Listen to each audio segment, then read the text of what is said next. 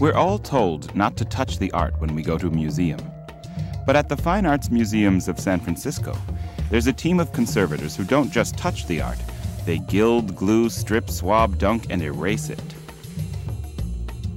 Tony Rockwell is one of 12 conservators who tend to the ongoing care of the 200,000 artworks in the de Young and Legion of Honor collections. Every painting on the walls in the museum here is under constant observation. All the paintings have been worked on to some degree or another, so it's a really ongoing system of care that's necessary to maintain these fabulously valuable and important works of art. Tony got his start in the 1950s as a conservator's apprentice. Since then, he's restored hundreds of paintings, from Egyptian mummy portraits to this still life by Picasso. My father worshipped Picasso, and I grew up with viewing Picasso's and being dragged to the Museum of Modern Art constantly. And, and finally, to actually be able to work directly on the surface of Picasso is, is just a tremendous thrill for me. When the old earthquake damaged De Young Museum was torn down in 2001, 20,000 artworks had to be moved to a secure warehouse outside of the city, a temporary home until the museum reopens. The downtime is giving Tony's colleague Carl Grimm a chance to catch up on some long overdue work. Okay, Daniel, take this in. I'll go backwards. Go backwards. At the top of the list is the museum's prized Boatman on the Missouri by George Caleb Bingham. Before any restoration begins, Carl consults with curator Daniell Cornell to determine how the work may have originally looked when it was painted in 1846. Carl is part of a new generation of conservators. With a PhD in the field, he's received a rigorous education that combines art history, studio art, and science. We're going to look at the painting in under ultraviolet light, and we'll see any areas of old retouching. They'll appear dark. We're seeing areas of retouching on the painting. It uh, gives us some indication of where the areas where the lost areas, damaged areas are. And this is relatively recent, mm -hmm.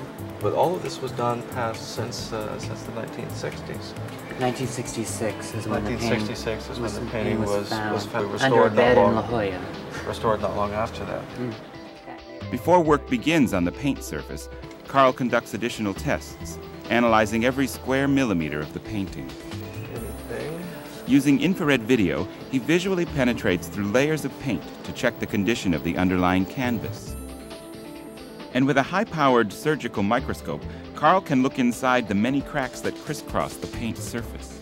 If the paint's loose along any of the cracked areas, it could conceivably flake off, which is, of course, something that we absolutely do not want to have happen even on a microscopic level preserving the artist's intent is extremely important. So what we're doing essentially is removing all of these earlier restorations and taking this painting back to as near as possible its original state. Then we re-restore it so that it's uh, really a state-of-the-art museum quality restoration.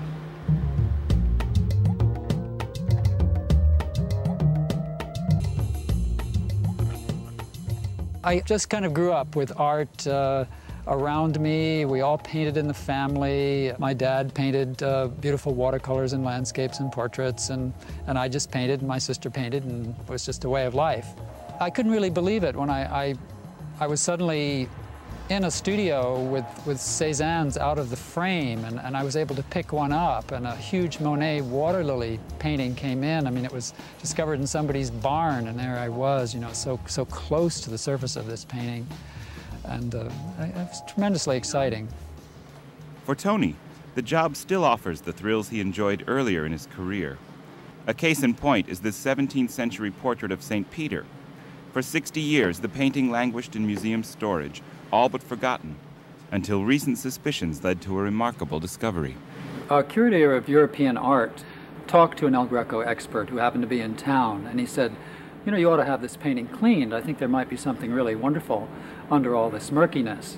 And as we got down through the murky layers of old varnish and grime and overpaint, and little by little, this wonderful brushwork began to emerge that looked like El Greco. So we're very excited about this painting. It's almost like finding an El Greco in your storage area that you didn't know you had. We're operating from scratch in terms of conservation. There aren't any records on the previous treatment of this painting because the treatment was done so far in the past, probably uh, late 19th century or early 20th century. This is the painting after all the extraneous materials have been removed, what remains of the original. Here's a painting that's been extremely abraded, it's been damaged. Uh, there, there, was a fold here, creases and so on. Uh, probably was crumpled at some point. That's caused some of these these uh, losses to occur. So we want to uh, bring back the artist's hand to, to, the, to as great an extent as we possibly can. I'm inpainting them to match as closely as possible the original paint that surrounds them. This is a, a, very different approach than what was done in the past when uh, this whole area probably would have been repainted by a restorer. For larger areas of loss, for instance, in this fold of the fabric, you've got to understand the brush, the brush stroke and you know how the, the lines of the brush stroke follow through that area and try to recreate that. I, I don't know that anyone can be more intimate with a painting than a conservator. It's it's a great privilege, really to be able to, to study the paint surface that closely. And then the, the intimacy that you achieve by studying every little square centimeter of the surface, you begin to get a grasp of how the artist manipulated his paint and you know the, the whole emotion that must have been behind the creativity that went into it. You realize that uh, you're right in contact with a, a work that may be hundreds of years old, that was created by the hand of a great master it's quite extraordinary and quite a quite a gift to be able to do this.